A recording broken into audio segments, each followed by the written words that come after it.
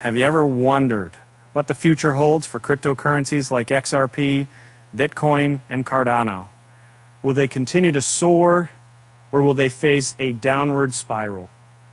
Today we'll dive into the charts and analyze the potential trajectories of these digital assets.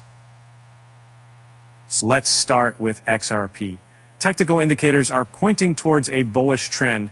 Traders are eagerly watching for a breakthrough of the 56 resistance level, which could signal the beginning of a bull market for XRP.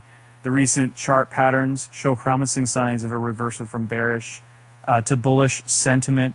One significant factor supporting this outlook is the avoidance of a death cross event where long-term moving averages cross over short-term averages, indicating a sell-off. XRP's EMAs indicate stability, setting the stage for an upwards the looming shadow of a bearish crossover. Looking at specific support and resistance levels, XRP currently finds strong support at 51 cents. If this level holds, it establishes a solid foundation for the asset's value to build upon. However, the volatile nature of cryptocurrency markets means we should also consider a potential drop scenario. If XRP fails to sustain its support level, a dip below $51 could trigger a sell-off, leading to further downward pressure. In such a case, the next support at around 50 cents would be critical to prevent a steeper decline. Now, let's turn our attention to Bitcoin. The king of cryptocurrencies has recently shown a bullish trajectory reminiscent of the excitement surrounding the rumored approval of a Bitcoin ETF Bitcoin has shattered resistance levels surpassing the crucial $44,000 mark. This breach not only signifies a resistance turn support level, but also paves the way for a climb towards the next one psychological barrier at $47,000. If bulls maintain control, the push towards $50,000 could be imminent, reinforcing a bullish narrative across the crypto landscape.